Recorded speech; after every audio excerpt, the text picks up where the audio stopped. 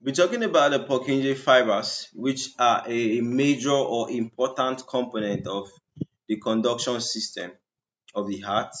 You can see that the Purkinje fibers, after them, there is no other fibers. So the Purkinje fibers, they just serve like the last part of the uh, conduction system, and they are very. You can see that they are they are the most numerous in number, right? So they are actually very much important, right?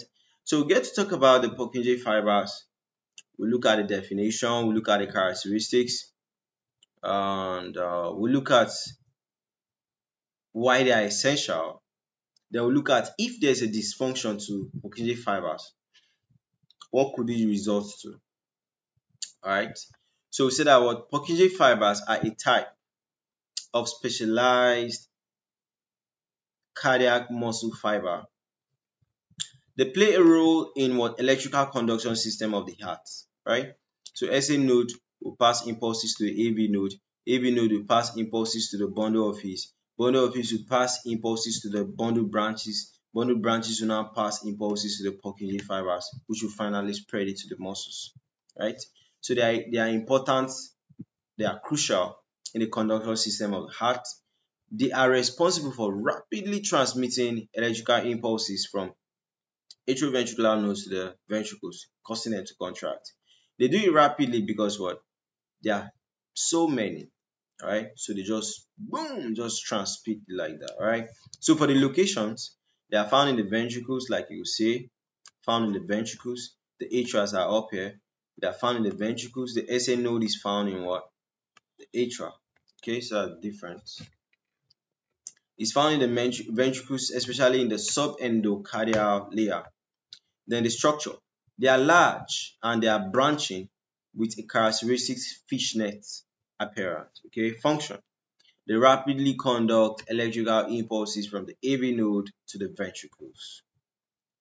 Then for electrical activity, they have a high velocity of conduction, up to 4 meters per second. Just imagine, right? So fast, right? And this will allow for rapid activation of the ventricles, right? So you can now start imagining if there's a dysfunction to Purkinje fibers, what could it result if they are this important? Okay.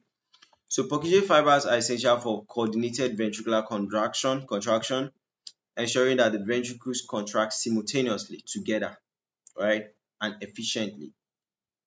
The normal heart readings, they are essential. They should be there so that it can help us what maintain a regular heartbeat by transmitting electrical impulse at the correct rate. Okay, so from all this, why they are essential, their uses, and all that, you can just start imagining if there's a problem with Purkinje fibers, there will be irregular things, okay, happening in the heart.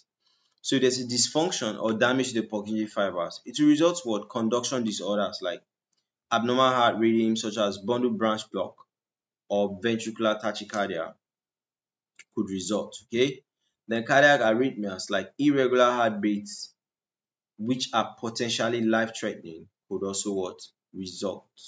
Okay, so I think on that, that's it for Purkinje fibers.